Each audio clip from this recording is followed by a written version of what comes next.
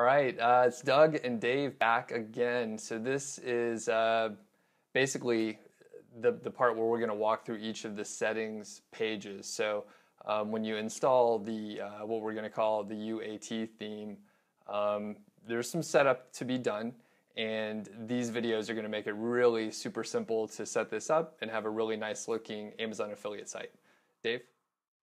All right, so um, so the Ultimate Azon theme, UAT, is uh, a little bit more complex than your average WordPress theme, but that's also what gives the theme its power. So we have a handful of different settings pages, and if you hover over the Ultimate Azon link in your admin menu, you'll see about eight or nine different pages there. So we'll just go walk through each one of them real quickly just to give you a brief overview of what the page does, and then in another video we'll delve in a little deeper and explain some of these settings in detail. So first, if we go to the first link, Ultimate Azon, this is your general settings page. So um, on this page here, it's just a few general settings for the theme, like you can turn on and off a setup guide here. Um, there's different admin tips that are displayed above certain fields throughout different parts of WordPress when you're using this theme. So if, if you're new to the theme, I recommend leaving this on, but once you know what you're doing, you can turn that off to get those little displays to disappear. Um, and then here's where you can set your logo. Um, it starts out with just a basic text logo right here. And as you can see, we're set to a text logo. So you can set some basic things like your font color, font size, and you can set the font size for large, medium, and small screen so it displays correctly on different screen sizes. And then there's a bunch of different fonts you can choose that are Google fonts here that you can use too. And then if you would like, you can also choose image logo, uploaded logo. You'll see the Ultimate Azon theme logo in there, but you can upload any logo or choose anything that's already in your media library right there. Um, you can go ahead and add a tagline there, change the font styles of that, and then you can upload a custom favicon right here if you would like. And then at the very bottom of the theme, you'll see this built-in Amazon disclaimer down here. Um, this is where you manage that, and you can just copy your own website name right into here. And this is the default Amazon affiliate disclaimer that's required by Amazon to be at the bottom of every Amazon affiliate site. Um, and then that's about it for this page. So next we'll come into preset theme styles. Um, so part of the point of UAT is to be able to set up an Amazon site very quickly um, once you know how to use the theme. It does take a little bit longer to grasp once you're setting up your first one. But for example, I can upload this theme and set up a whole new, you know, set everything up in probably under 10 minutes since I'm familiar with the theme.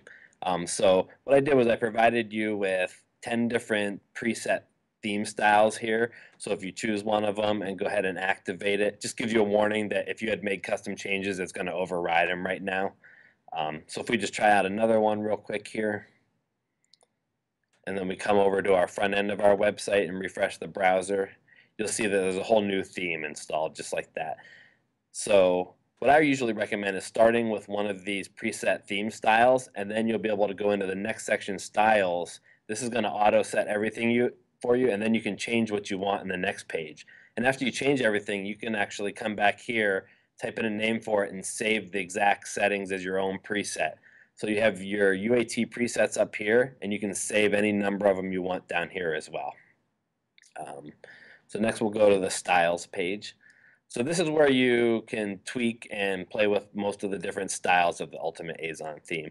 So uh, to save time, I'm not going to go through everything here, but there's different styles for the main background here. Um, you know, you can use background images, you can use a plain color, you can use a gradient, you can change the color of the main content area, and then you can also set all your body font styles, like all your headings, your paragraph text, your link colors, the navigation colors, um, the sidebar colors, the color of the links and the widgets um, the color of the fonts and the background for the footer styles, and then down below, so you can really tweak the theme to display optimally on mobile and tablets. Um, you can choose different font sizes and line heights for the main elements like heading 1, heading 2, heading 3, the nav bar, um, the footer. So it's pretty straightforward. If you just go through that and take a look at everything and then view the front end, you can see what all of the changes are. Um, so next we have the custom code option. And this is for those of you that want to add some extra CSS to to the theme, or if you want to override some of the CSS in the theme with your own, you can paste it in here. Or also, if you have any other kind of uh, JavaScripts you want to link to, you can paste them in here. And so if you post any custom CSS in here, when you update the theme, when a new update's available, this is stored in the database, so it's not going to override anything you set in here yourself.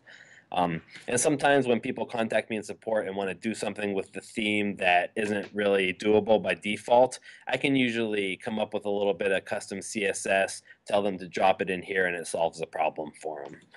Um, so next we'll go to products, and this is going to be one of the main areas that we're going to do a video on how to set up. Um, and this is basically where you set up your product review type.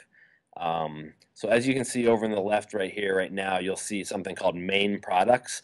Well, you can name that um, something of your own choosing, like cordless drills or camping tents, whatever you would like. And then there's also some different custom product specifications you can add in here. So we'll come back to this one here.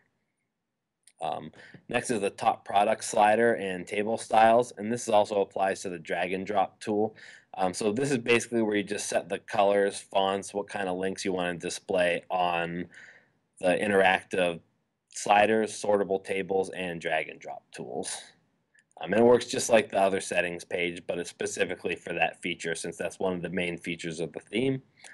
Um, so the next option is SEO options.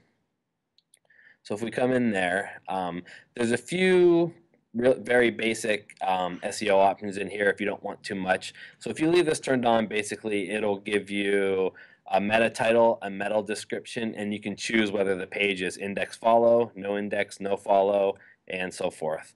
Um, but if you're going to use Yoast SEO, which is what I actually usually use on my own websites, you can just turn this off right here, and then it'll take those fields away, and you can use whatever SEO plugin you prefer. Um, but I wanted to add this in in case people don't want to use a full SEO plugin. There's a few basic fields that you could use. Um, GTM Analytics. This is for the Google Tag Manager or the Google Analytics. So you have three choices on this page. Um, if you choose third-party analytics plugin, um, this won't add any kind of analytics to it, and you can use any plugin you wish, like Yoast or any uh, Google, you know, Analyticator, anything else you want. Um, and then what most people will probably want to do is input their standard Google Analytics tracking code. So if you don't want to use a different plugin, you can just paste your tracking code right in here and it will add it to the header of all of your pages. And then if you would like to get a little bit more advanced, um, you can use the Google Tag Manager. And that's something you have to set up with the free Google Tag Manager program. Um, and it gets a little bit more complex and I will eventually be doing a video series on that. Um, so you can paste in your uh, Google container ID in here and connect your analytics that way. But that gets a little in depth, so that's for another video. Um, so Amazon link localization. Um, so I have built in here a basic Amazon uh, affiliate link localization similar to that in EasyAzon.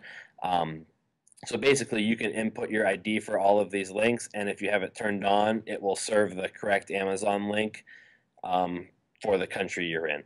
And basically, how it works is if you're in a different country than the original link was put in and you click that link, it's going to go to the correct Amazon website, look for a product with the exact same number, and if it finds it, it'll serve that page to your visitor. If it can't find that, it'll do a search for that product and then it'll take the visitor to a search page for that product. Just in case the item number is different, they'll still be able to find that product or similar ones very easily. Um, and then one more point is if you are using the EasyAzon plugin along with this, I recommend just leaving this off and using the built-in localization with that plugin would work best. Um, now we have a setup guide right here. So this is the basic built-in documentation. Um, it's the getting started guide. So you can always refer to here. And the first section is for setting it up on a fresh WordPress install, which is what we're going through today. And then down below, it's a little more complicated, but if you're going to be converting over an existing website to the Ultimate Azon theme, here's the directions on how to do that as well. And I'm always standing by to offer support as well. If you just log into the support forum with information you got when you signed up, and I will help you out with anything you need. Um, and the last page we've already visited, which is the license and support page, which, um, let's see, yep, there's also a link here to get to the support forum. So um, that's your quick overview of all the basic setting pages of the Ultimate Azon theme.